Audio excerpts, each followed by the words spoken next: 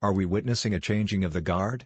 All evidence now suggests Ireland have usurped England as the new Northern Hemisphere superpower. On Monday morning, World Rugby will release the latest rankings with one significant change. Ireland have moved ahead of England into second place, just behind the mighty All Blacks, for the first time in three years. In truth, Joe Schmidt's Green Machine have been miles ahead for the past 12 months. It was the men in green who derailed England's bid for back-to-back Grand Slams in rain-soaked Dublin last March. A 13-9 win that also ended an 18-match unbeaten run.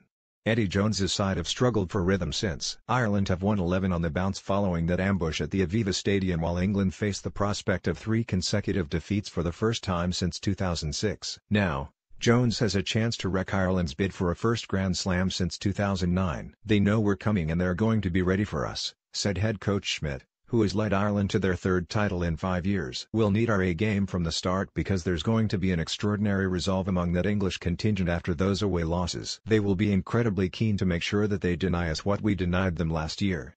There is no doubt that England will come out firing at Twickenham on Saturday after sobering defeats against Scotland and France. Jones is primed to make more changes against an Irish side stacked with pace and power. I think they're going to be really dangerous, Schmidt added. They are wounded but they're far from dead and buried. Ireland claimed the title in style with a four-try demolition of Scotland. Jacob Stockdale continued his remarkable strike rate with a first-half brace that took the young Ulster wings tally to 10 tries in 8 tests. Stockdale had Garry Ringrose to thank for his second effort.